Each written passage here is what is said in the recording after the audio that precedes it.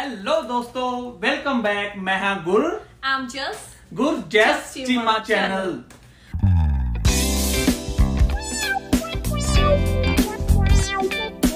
ਤੇ ਸਵਾਗਤ ਹੈ ਤੁਹਾਡਾ। ਜਿਵੇਂ ਕਿ ਅਸੀਂ ਬੈਕ ਟੂ ਬੈਕ ਵੀਡੀਓ ਪਾਉਂਦੇ ਰਹਿੰਦੇ ਆ ਤੇ ਇਨਫੋਰਮੇਟਿਵ ਵੀਡੀਓ ਹੁੰਦੀ ਹੈ ਸਾਡੀ ਸਾਰੀ। ਤੇ ਅੱਜ ਵੀ ਅਸੀਂ ਤੁਹਾਡੇ ਲਈ ਬਹੁਤ ਵਧੀਆ ਇਨਫੋਰਮੇਸ਼ਨ ਲੈ ਕੇ ਆਏ ਆ ਜਿਹੜੀ ਤੁਹਾਨੂੰ ਕੈਨੇਡਾ ਦਾ ਵਿੱਚ ਸਰਵਾਈਵ ਕਰਨ ਦੇ ਵਿੱਚ ਬਹੁਤ ਜ਼ਿਆਦਾ ਹੈਲਪਫੁਲ ਹੋਊਗੀ। ਤੇ ਦੋਸਤੋ ਅੱਜ ਆਪਾਂ ਗੱਲ ਕਰਾਂਗੇ ਫੋਰਕਲਿਫਟ ਦੇ ਲਾਇਸੈਂਸ ਬਾਰੇ। ਤੇ ਕਿ ਉਹ ਲਾਇਸੈਂਸ ਕਿਵੇਂ ਬਣਦਾ ਹੈ ਤੇ ਕਿੰਨੇ ਟਾਈਮ 'ਚ ਬਣ ਜਾਂਦਾ ਹੈ ਤੇ ਉਹਦੇ ਲਈ ਕੀ ਕੁਝ ਆਪਾਂ ਨੂੰ ਕਰਨਾ ਪੈਂਦਾ ਹੈ ਤੇ ਉਹਦੇ ਆਪਾਂ ਨੂੰ ਕੀ ਕੀ ਬੈਨੀਫਿਟਸ ਨੇ ਕੈਨੇਡਾ ਦੇ ਵਿੱਚ। ਤੇ ਪੇ ਕਿੰਨੀ ਮਿਲਦੀ ਆ ਕੈਨੇਡਾ 'ਚ?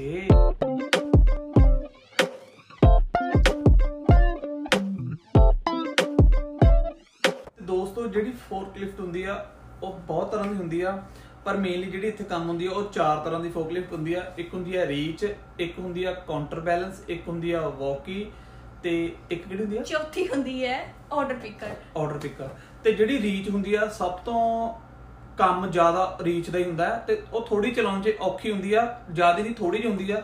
ਤੇ ਉਹਦੀ ਸਭ ਤੋਂ ਵੱਧ ਪੇ ਮਿਲਦੀ ਹੈ। ਵੀ ਜ਼ਿਆਦਾਤਰ ਉਹਨੂੰ ਹੀ ਰੀਚ ਨੂੰ ਹੀ, ਇੱਥੇ ਜਿਹੜੇ ਵੀ ਵੇਅਰ ਹਾਊਸ ਨੇ ਉਹ ਜ਼ਿਆਦਾਤਰ ਰੀਚ ਨੂੰ ਹੀ ਪ੍ਰੈਫਰ ਕਰਦੇ ਨੇ ਵੀ ਜੇ ਤੁਹਾਨੂੰ ਰੀਚ ਆਉਂਦੀ ਆ ਤਾਂ ਤੁਸੀਂ ਉਹਨਾਂ ਕੋਲ ਈਜ਼ੀਲੀ ਕੰਮ ਕੰਮ- ਕਰਨ ਲਈ ਜਾ ਸਕਦੇ ਹੋ। ਮੇਨਲੀ ਇੱਕ ਰੀਚ ਤੇ ਕਾਊਂਟਰ ਬੈਲੈਂਸ ਦੋਨੋਂ ਹੀ ਰਿਸਕੀ ਵੀ ਹੁੰਦੀਆਂ ਨੇ। ਕਾਊਂਟਰ ਬੈਲੈਂਸ ਥੋੜੀ ਘੱਟ ਰੀਚ ਥੋੜੀ ਜ਼ਿਆਦਾ ਰਿਸਕੀ ਹੁੰਦੀ ਹੈ। ਤੇ ਸਭ ਤੋਂ ਜ਼ਿਆਦਾ ਇੰਪੋਰਟੈਂਸ ਇਹਨਾਂ ਦੋਨਾਂ ਦੀ ਹੀ ਹੈ। ਜਿੱਥੇ ਵੀ ਆਪਾਂ ਕੰਮ ਕਰਦੇ ਜ਼ਿਆਦਾਤਰ ਪੁੱਛਦੇ ਤੁਹਾਨੂੰ ਰੀਚ ਆਉਂਦੀ ਹੈ ਤੁਹਾਨੂੰ ਕਾਊਂਟਰ ਬੈਲੈਂਸ ਆਉਂਦੀ ਹੈ। ਸੋ ਇਹ ਚੀਜ਼ਾਂ ਅਗਰ ਤੁਸੀਂ ਲਾਇਸੈਂਸ ਬਣਵਾਉਂਦੇ ਹੋ ਤਾਂ ਕਾਊਂਟਰ ਬੈਲੈਂਸ ਤੇ ਰੀਚ ਦਾ ਲਾਇਸੈਂਸ ਜ਼ਰੂਰ ਬਣਾ ਲਿਓ। ਸਭ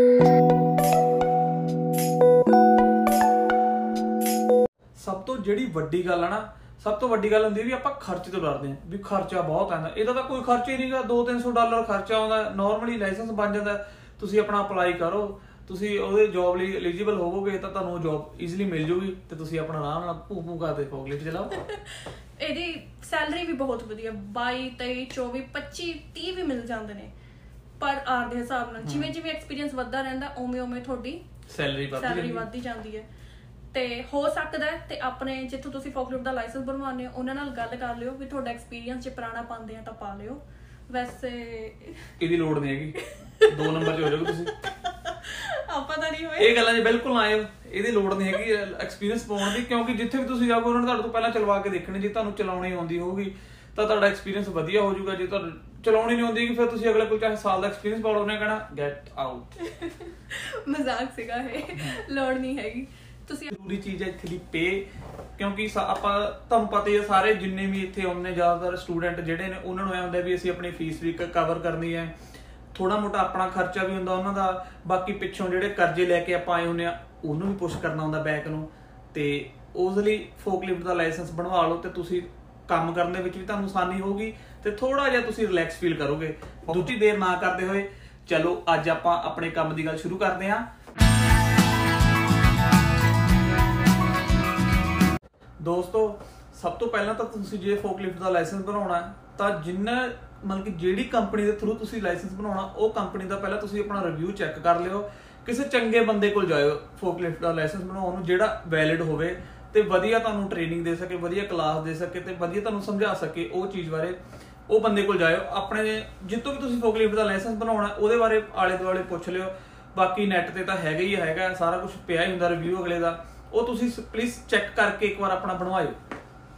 ਆਪਣਾ ਕੀ ਹੁੰਦਾ ਹੈ? ਕਈ ਅਜੇ ਫੋਕਲਿਫਟ ਬਣਵਾਉਣ ਵਾਲੇ ਹੁੰਦੇ ਨੇ ਬਸ ਤੁਹਾਡਾ ਸਿਰਫ ਪਾਸਪੋਰਟ ਲੈ ਲੈਂਦੇ ਨੇ ਤਾਂ ਤੁਹਾਨੂੰ ਬਣਾ ਕੇ ਦੇ ਦਿੰਦੇ ਨੇ। ਉਹਨੂੰ ਬਣਵਾਉਣ ਦਾ ਕੋਈ ਫਾਇਦਾ ਨਹੀਂ ਹੈਗਾ। ਉਹਦਾ ਰੀਜ਼ਨ ਇਹ ਹੈ ਤੁਸੀਂ ਡੈਫੀਨਿਟਲੀ ਲਾਇਸੈਂਸ ਬਣਵਾ ਲੈਣਾ ਲਓਗੇ ਪਰ ਤੁਹਾਨੂੰ ਕੱਲ ਨੂੰ ਕੰਮ ਨਹੀਂ ਮਿਲਣਾ, ਕਿਉਂਕਿ ਤੁਸੀਂ ਟ੍ਰੇਨਿੰਗ ਨਹੀਂ ਲਈ। ਟ੍ਰੇਨਿੰਗ ਬਹੁਤ ਜ਼ਰੂਰੀ ਆ। ਹੁਣ ਅਸੀਂ ਫੋਕਲਿਫਟ ਦਾ ਲਾਇਸੈਂਸ ਬਣਵਾਇਆ। ਪਹਿਲਾਂ ਅਸੀਂ ਨੈਟ ਤੇ ਸਰਚ ਕੀਤਾ, ਜਿਹਦੇ ਰਿਵਿਊ ਸਾਨੂੰ ਚੰਗੇ ਲੱਗੇ, ਅਸੀਂ ਉਹਨਾਂ ਕੋਲ ਗਏ ਤੇ ਆਪਣੇ ਸੋ ਫਾਈਨਲੀ ਅਸੀਂ ਇੱਕ ਕੰਪਨੀ ਚੂਜ਼ ਕੀਤੀ ਜਿਹੜੀ ਸਾਨੂੰ ਰੀਅਲਿਸਟਿਕ ਲੱਗੀ ਤੇ ਸਾਨੂੰ ਲੱਗਿਆ ਕਿ ਇਹਨਾਂ ਦੇ ਰਿਵਿਊ ਵਧੀਆ, ਅਸੀਂ ਆਹ ਕੰਪਨੀ ਤੋਂ ਆਪਣਾ ਲਾਇਸੈਂਸ ਬਣਵਾਵਾਂਗੇ। ਸੋ ਜਦ ਆਪਾਂ ਲਾਇਸੈਂਸ ਬਣਵਾਉਣ ਬਾਰੇ ਸੋਚਿਆ ਉਹ ਕੰਪਨੀ ਤੋਂ, ਆਪਾਂ ਪਹਿਲਾਂ ਉਹਨਾਂ ਨੂੰ ਫੋਨ ਕਰਿਆ। ਆਪਾਂ ਪੁੱਛੇ ਕਿ ਤੁਸੀਂ ਪਲੀਜ਼ ਦੱਸੋ ਕਿ ਤੁਸੀਂ ਸਾਡੇ ਤੋਂ ਕਿੰਨੇ ਪੈਸੇ ਲਵੋਗੇ? ਅਸੀਂ ਆਹ ਫੋਕਲਿਫਟ ਦਾ ਲਾਇਸੈਂਸ ਬਣਵਾਉਣੇ ਨੇ।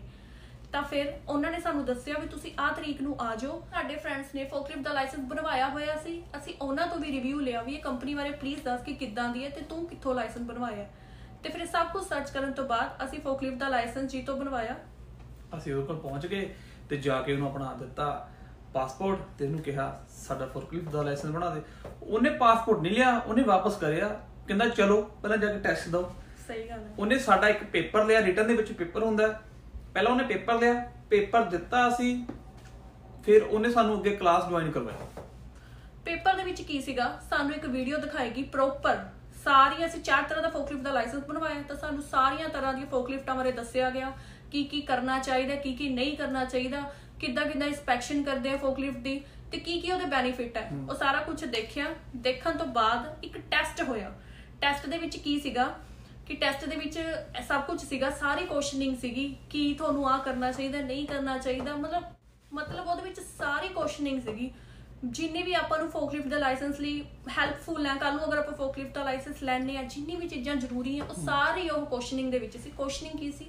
ਚਾਰ ਆਪਾਂ ਨੂੰ ਪੁਆਇੰਟ ਮਿਲੇ ਸੀਗੇ, ਉਹ ਪੁਆਇੰਟ ਚੋਂ ਆਪਾਂ ਇੱਕ ਨੂੰ ਟਿਕ ਲਾਣਾ ਸੀ। ਤੇ ਜੇ ਤੁਸੀਂ ਉਹ ਟੈਸਟ ਚੋਂ ਪਾਸ ਹੁੰਦੇ ਹੋ, ਤਾਂ ਅੱਗੇ ਤੁਹਾਨੂੰ ਭੇਜਦੇ ਨੇ ਉਸ ਤੋਂ ਬਾਅਦ ਅਸੀਂ ਆਪਣਾ ਟੈਸਟ ਕਲੀਅਰ ਕਰਿਆ ਟੈਸਟ ਉਹਨੂੰ ਦਿੱਤਾ, ਤੇ ਫਿਰ ਉਹਨੇ ਸਾਨੂੰ ਪੁੱਛਿਆ ਵੀ ਤੁਸੀਂ ਕਿੰਨੀ ਤਰ੍ਹਾਂ ਦੀ ਫੋਰਕਲਿਫਟ ਦਾ ਲਾਇਸੈਂਸ ਬਣਾਉਣਾ ਚਾਹੁੰਦੇ ਹੋ? ਤਾਂ ਅਸੀਂ ਇਹਨੂੰ ਪਹਿਲੇ ਕਿਹਾ ਸੀਗਾ ਵੀ ਅਸੀਂ ਚਾਰ ਤਰ੍ਹਾਂ ਦੀ ਬਣਾਉਣਾ ਚਾਹੁੰਦੇ ਹਾਂ ਤੇ ਫਿਰ ਉਹਨੇ ਸਾਡੀ ਜਿਹੜੀ ਜਿਹੜੀ ਅਸੀਂ ਕਿਹਾ ਸੀ ਉਹਨੇ ਸਾਨੂੰ ਉਹ ਚੀਜ਼ ਬਾਰੇ ਉਹਨੇ ਟ੍ਰੇਨਿੰਗ ਦਿੱਤੀ। ਤੇ ਜਿਵੇਂ ਵੀ ਤੁਸੀਂ ਵੀ ਜਿਹੜੀ ਵੀ ਚੀਜ਼ ਦੀ ਤੁਸੀਂ ਉਹਨੂੰ ਕਹੋਗੇ ਸਾਨੂੰ ਵਾਕੀ ਦੀ ਚਾਹੀਦੀ ਜਾਂ ਆਰਡਰ ਪਿਕਰ ਦੀ ਚਾਹੀਦੀ ਹੈ ਨਾ ਜਾਂ ਰੀਚ ਦੀ ਚਾਹੀਦੀ ਹੈ ਤੁਸੀਂ ਉਹਨੂੰ ਜਿੰਨੀਆਂ ਕਹੋਗੇ ਉਹਨੇ ਉਸ ਟਾਈਪ ਦੇ ਨਾਲ ਤੁਹਾਨੂੰ ਟ੍ਰੇਨਿੰਗ ਦੇਣੀ ਹੈ ਜਿੰਨੀ ਤੁਸੀਂ ਉਹਨੂੰ ਕਹੋਗੇ। ਉਹਨਾਂ ਨੇ ਚਲਵਾਈ ਮੇਰੇ ਤੋਂ ਮੈਨੂੰ ਟ੍ਰੇਨਿੰਗ ਦਿੱਤੀ ਰੀਚ ਤੇ ਕਾਊਂਟਰ ਬੈਲੈਂਸ ਦੀ ਟ੍ਰੇਨਿੰਗ ਦਿੱਤੀ ਉਹਨਾਂ ਨੇ ਮੈਨੂੰ ਵੀ ਜਿੰਨੀਆਂ ਵੀ ਮੈਂ ਉਹਨਾਂ ਨੂੰ ਕਿਹਾ ਸੀਗਾ ਉਹਨਾਂ ਨੇ ਸਾਰੀਆਂ ਫੋਰਕਲਿਫਟਾਂ ਦੇ ਮੈਨੂੰ ਟ੍ਰੇਨਿੰਗ ਦਿੱਤੀ ਤੇ ਉਹਨਾਂ ਬਾਰੇ ਸਮਝਾਇਆ ਵੀ ਕਿਵੇਂ ਚੱਲਣੀਆਂ ਨੇ ਇਹ। ਤੇ ਇਹਨਾਂ ਨੇ ਜਦੋਂ ਆਪਾਂ ਚਲਾਉਣਾ ਤਾਂ ਆਪਾਂ ਇਹਨਾਂ ਦੀਆਂ ਕਿਹੜੀਆਂ ਗੱਲਾਂ ਦਾ ਧਿਆਨ ਰੱਖਣਾ। ਤੇ ਫਿਰ ਮੇਰੀ ਉਹਨਾਂ ਨੇ ਟ੍ਰੇਨਿੰਗ ਲਵਾਈ ਕਲਾਸ ਲੱਗੀ ਮੇਰੀ ਤੇ ਮੈਨੂੰ ਫਾਈਨਲੀ ਉਹਨਾਂ ਨੇ ਬਾਅਦ ਚ ਲਾਇਸੈਂਸ ਦੇ ਦਿੱਤਾ ਸੀ। ਹੁਣ ਨਾਲੇ ਆਪਾਂ ਤੁਹਾਨੂੰ ਦੱਸਾਂਗੇ ਨਾ ਵੀ ਚਲਾਉਣੀ ਕਿਵੇਂ ਆ ਥੋੜੀ ਉਹ ਵੀਡੀਓ ਪਾਵਾਂਗੇ ਆਪਾਂ ਤੇ ਤੁਹਾਨੂੰ ਉਹਦੇ ਨਾਲ ਥੋੜੀ ਹਿੰਟ ਮਿਲ ਜੂਗੀ। ਤੇ ਦੂਜੀ ਗੱਲ ਜਦੋਂ ਵੀ ਤੁਸੀਂ ਕਿਤੇ ਕੰਮ ਤੇ ਜਾਓਗੇ ਉਹ ਤੁਹਾਡਾ ਟੈਸਟ ਜ਼ਰੂਰ ਲੈਂਦੇ ਹੁੰਦੇ ਨੇ। ਉਹਨੇ ਟੈਸਟ ਲੈ ਕੇ ਦੇਖਣਾ ਤੁਹਾਨੂੰ ਆਉਂਦੀ ਹੈ ਫੋਕਲਿਫਟ ਚਲਾਉਣੀ ਕਿ ਨਹੀਂ ਆਉਂਦੀ। ਤੇ ਆਪਣਾ ਥੋੜਾ ਪ੍ਰਪੇਅਰ ਹੋ ਕੇ ਜਾਇਓ ਕਲਾਸਾਂ ਥੋੜੀਆਂ ਜ਼ਿਆਦੀਆਂ ਲੈ ਲਿਓ ਵਧੀਆ ਲੈ ਲਿਓ ਤੇ ਪੂਰਾ ਮਤਲਬ ਕਿ ਥੋੜਾ ਜ਼ਿਆਦਾ ਨਹੀਂ ਥੋੜਾ ਜਿਹਾ ਆਪਣਾ ਵੀ ਤੁਹਾਨੂੰ ਚਲਾਉਣੀ ਆਉਣ ਲੱਗ ਜੇ ਉਹਨਾਂ ਨੂੰ ਐ ਹੋਵੇ ਵੀ ਹਾਂ ਤੁਹਾਨੂੰ ਚਲਾਉਣੀ ਆਉਂਦੀ ਹੈ ਵੀ ਤੁਸੀਂ ਸਿੱਖ ਸਕਦੇ ਹੋ ਜੇ ਤੁਸੀਂ 2-3 ਦਿਨ ਲਾ ਲਿਓ ਉਹਨਾਂ ਦੀ ਫੈਕਟਰੀ ਦੇ ਵਿੱਚ। ਬਸ ਸਾਰੀ ਗੱਲ ਕੌਨਫੀਡੈਂਸ ਦੀ ਹੈ। ਜੇ ਤੁਸੀਂ ਕੌਨਫੀਡੈਂਸ ਰੱਖ ਕੇ ਫੋਕਲਿਫਟਾਂ ਚਲਾ ਲੀਆਂ ਸਿੱਖ ਲੀਆਂ ਤਾਂ ਤੁਸੀਂ ਕਰ ਲਓਗੇ। ਨਹੀਂ ਤੁਸੀਂ ਡਰੀ ਜਾਓਗੇ। ਨਾਰਮਲ ਕਾਰ ਵਾਂਗ ਹੁੰਦੀ ਹੈ ਜਿਵੇਂ ਆਪਾਂ ਕਾਰ ਚਲਾਉਂਦੇ ਆ ਉਵੇਂ ਫੋਰਕਲਿਫਟ ਚਲਾਉਂਦੇ ਆ ਸੇਮ ਹੀ ਹੁੰਦਾ ਜ਼ਿਆਦਾ ਫ਼ਰਕ ਨਹੀਂ ਹੁੰਦਾ ਬਸ ਕਾਰ ਦੇ ਅਗਲੇ ਟਾਇਰ ਘੁੰਮਦੇ ਹੁੰਦੇ ਨੇ ਇਹਦੇ ਪਿਛਲੇ ਟਾਇਰ ਘੁੰਮਦੇ ਹੁੰਦੇ ਨੇ। ਹੂੰ। ਸੋ ਜ਼ਿਆਦਾ ਦੇਰ ਨਾ ਲਾਓ ਆਜੋ ਪਤਾ ਦਿਖਾਉਣੇ ਵੀਡੀਓ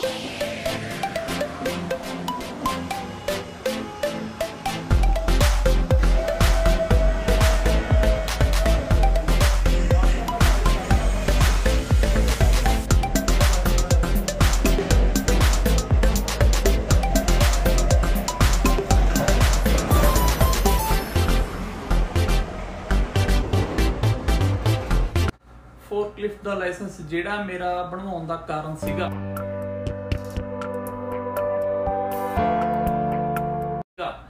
ਉਹ ਸੀਗਾ ਵੀ ਕਿਉਂ, ਜਿੱਥੇ ਮੈਂ ਕੰਮ ਕਰਦਾ ਸੀਗਾ, ਉੱਥੇ ਮੈਨੂੰ ਮੇਰਾ ਕੰਮ ਬਹੁਤ ਜ਼ਿਆਦਾ ਔਖਾ ਲੱਗਦਾ ਸੀਗਾ ਤੇ ਫੋਰਕਲਿਫਟ ਦਾ ਕੰਮ ਸੌਖਾ ਲੱਗਦਾ ਸੀ, ਜਿਹੜੇ ਮੁੰਡੇ ਉੱਥੇ ਕੰਮ ਕਰਦੇ ਸੀ, ਮੈਨੂੰ ਐਂ ਲੱਗਦਾ ਸੀ ਵੀ ਮੈਨੂੰ ਨਾ ਚੜਾਉਂਦੇ ਨੇ ਵੀ ਤੂੰ ਆਹ ਕੰਮ ਕਰਦਾ, ਸਾਡਾ ਕੰਮ ਦੇਖ ਵੀ ਅਸੀਂ ਮਸ਼ੀਨ ਤੇ ਬੈਠੇ ਆ ਝੂਟੇ ਕਦੀ ਇੱਧਰ ਨੂੰ, ਕਦੀ ਉੱਧਰ ਨੂੰ, ਸਮਾਨ ਅੱਗੇ ਚੱਕਿਆ ਹੁੰਦਾ ਸੀ ਉਹਨਾਂ ਨੇ।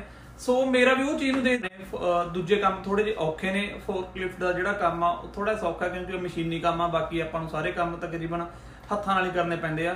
ਸੋ ਮੈਂ ਉਹ ਚੀਜ਼ ਨੂੰ ਮੱਦੇਨਜ਼ਰ ਰੱਖਦੇ ਹੋਏ ਇਹ ਲਾਇਸੈਂਸ ਬਣਵਾਇਆ।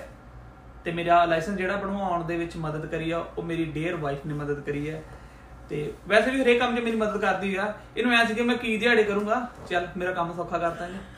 ਚਲੋ ਜੇ, ਕੀ ਗੱਲ ਆ।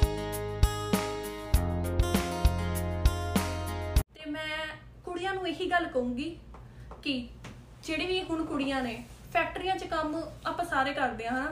ਤੇ ਜੇ ਤੁਸੀਂ ਰੈਸਟੋਰੈਂਟ ਆ ਤੇ ਹੋਰ ਥਾਵਾਂ ਦਾ ਲਓ ਜੇ ਤੁਸੀਂ ਇੱਕ ਫੋਕਲਿਫਟ ਦਾ ਲਾਇਸੈਂਸ ਬਣਵਾ ਲਓ ਤਾਂ ਤੁਸੀਂ ਜ਼ਿਆਦਾ ਬੈਟਰ ਰਹੋਗੇ। ਉਹਦੀ ਪੇ ਵੀ ਵਧੀਆ ਹੁੰਦੀ ਹੈ ਕੰਮ ਵੀ ਥੋੜਾ ਸੌਖਾ ਹੁੰਦਾ ਬਾਕੀ ਤੇ ਕੰਮਾਂ ਸ਼ਿਫਟ ਦਾ ਟਾਈਮਿੰਗ ਤਾਂ ਸੇਮ ਹੀ ਹੁੰਦੀ ਹੈ 8 ਘੰਟੇ ਦੀ ਹੁੰਦੀ ਹੈ 10 ਘੰਟੇ ਦੀ ਹੁੰਦੀ ਹੈ।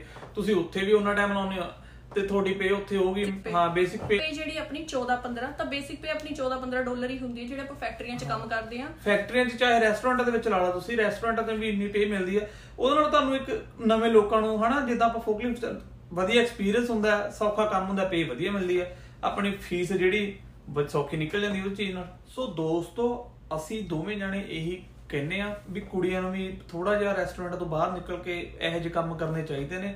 ਕਿਉਂਕਿ ਕੁੜੀਆਂ ਕਿਸੇ ਤੋਂ ਘੱਟ ਨਹੀਂ ਹੁੰਦੀਆਂ ਹੈਗੀਆਂ। ਤੇ ਉਹਨਾਂ ਨੂੰ ਵੀ ਇਹ ਕੰਮ ਕਰਨੇ ਚਾਹੀਦੇ ਨੇ। ਕੰਮ ਨਾਲੇ ਸੌਖੇ ਹੁੰਦੇ ਨੇ ਤੇ ਪੇ ਵਧੀਆ ਮਿਲ ਜਾਂਦਾ। ਡਰ ਥੋੜਾ ਸਾਈਡ ਤੇ ਰੱਖ ਕੇ ਥੋੜਾ ਜਿਹਾ ਕੂਲ ਹੋ ਕੇ ਇੱਕ ਵਾਰ ਫੋਕਲਿਫਟ ਦਾ ਸਿੱਕੇ ਦੇਖ ਲਓ ਤੇ ਤੁਹਾਡੀ ਫੀਸਾਂ ਸੌਖੀਆਂ ਨਿਕਲ ਜਾਣਗੀਆਂ ਤੇ ਆਪਾਂ ਨੂੰ ਰੈਸਟੋਰੈਂਟਾਂ ਵਗੈਰਾ 'ਚ ਤੁਹਾਨੂੰ ਪਤਾ ਹੈ ਬੇਸਿਕ ਪੇ ਮਿਲਦੀ ਹੈ। ਬੇਸਿਕ ਵੀ ਨਹੀਂ ਮਿਲਦੀ ਕਈ ਰੈਸਟੋਰੈਂਟਾਂ 'ਚ ਤਾਂ।